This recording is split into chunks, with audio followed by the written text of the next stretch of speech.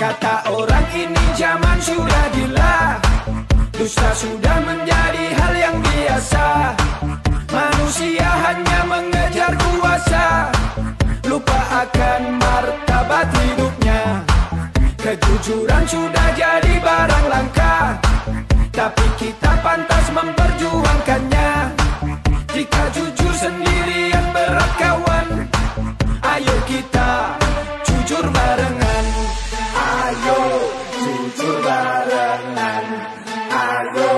Zulba.